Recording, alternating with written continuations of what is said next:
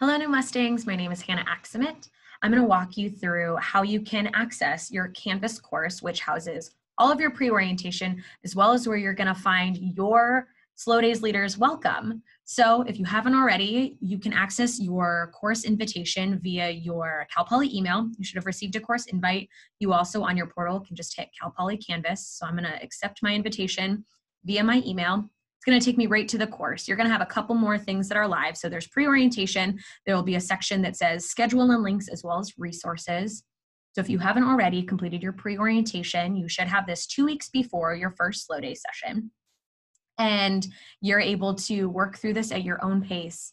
You're going to be all done whether or not it says that it is graded. Um, if this says 100% complete and all of these little circles are filled in, because you've worked through all of that material, you are good to go. So don't worry if it says that it's not graded or you have a zero. If it says complete on the side, again, you are all good to go.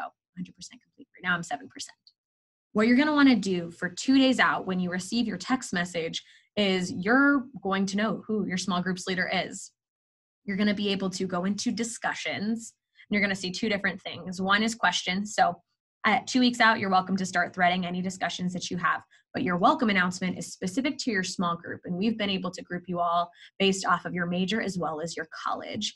And so you're going to see a welcome, probably from me, um, and then know that you are able to chat via this discussion thread. So you're going to find your individual leader's discussion.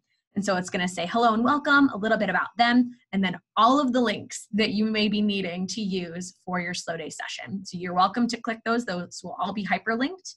Um, and then know that you can reply, introducing yourself. Please, please take the time for us to get to know you. This is a way of building those connections even before you get to that SLO Day session. If you have any questions, again, feel free to use that discussion question feature in Canvas. Thanks so much, y'all.